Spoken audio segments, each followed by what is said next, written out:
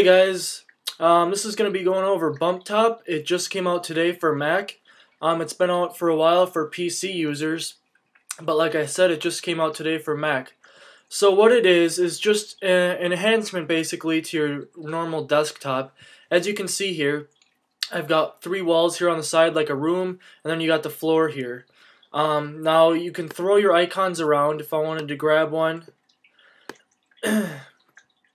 could grab it. You can throw them around and move them. Um, so that's kind of cool the way that you can move the stuff. Um, I don't know why these aren't moving here, but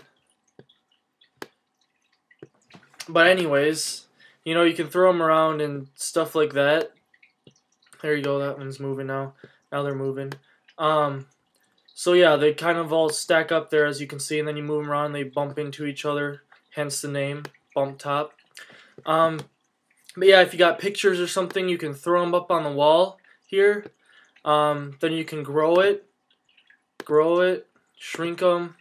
Um, so that's cool. You can make it as big as you want. Um, and move them around on the walls here. I can put it over here, over here. Um, you can change the backgrounds here um, if you go right up to your BumpTop preferences. Um, you can change these left, front, right, floor, and back.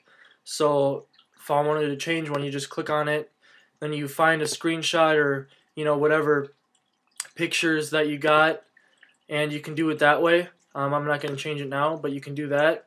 And then your general preferences you got here, and you can upgrade to the Pro version. Now, what the Pro version has is unlimited sticky notes, which I'll show you in a minute what that is flip through piles so you can use your scroll wheel or trackpad to flip through the different piles that you have on your desktop so you can have icons laid on each other. Find as you type, multi-touch gestures, and then premium support from their support team. So that's what you get for the pro version for $29. This is just a free version here. Um, and then a note, you can add a note. and we'll type BumpTop on it and then you can see it goes right there. I can hang it on the wall. I can grow it again or shrink it.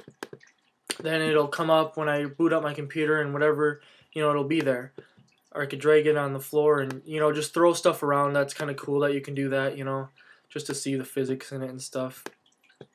But, yeah, so that's just basically all it really does here. Uh, I just wanted to kind of give a quick overview of it. Um, let you guys know that it's out there for Mac now, and it is free. This this is the free version here. So basically does just about everything, but it'd be cool to have the multi-touch and stuff.